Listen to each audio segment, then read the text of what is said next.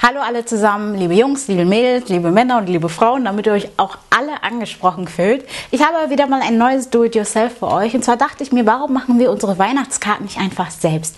Das ist eine super Idee für die ganze Familie. Jeder kann dabei mitmachen und ihr braucht auch gar nicht viel dafür. Ähm, ich werde euch gleich genauer sagen, was ihr dafür braucht. Und wenn ihr Lust darauf habt, dann bleibt einfach dran. Wir benötigen das Papier unserer Wahl, eine Schere, ein Lineal und ein Bleistift als auch ein Klebestift und ja, so kleine Sternchen, die ihr aufkleben könnt und Washi-Tape. Ich beginne damit, meine Blanko-Karteikarte einmal in der Mitte zu falten und die Bruchkante befindet sich jetzt nun auf der unteren Seite. Ich zeichne schon die erste Linie, das wird unser erstes Geschenkpäckchen äh, sozusagen.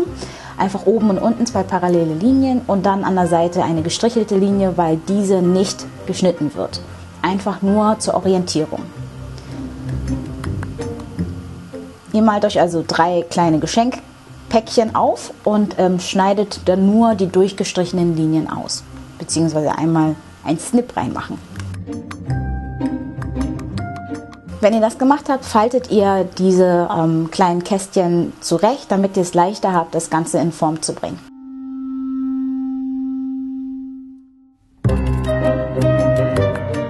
Dann könnt ihr das Ganze auch schon öffnen.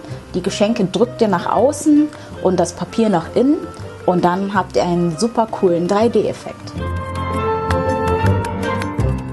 Da ich möchte, dass die Karte noch etwas hervorsticht und dieser 3D-Effekt einfach besser aussieht, nehme ich nochmal rotes Papier, schneide das zurecht, falte das in der Mitte, damit ich auch weiß, wo meine weiße Karte ja, ungefähr sitzen soll.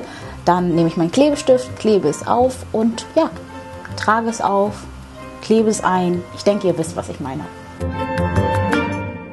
Als nächstes kommt mein Washi Tape ins Spiel und zwar schneide ich mir einfach ein paar Stücken ab und das wird dann mein Geschenkband um mein Päckchen.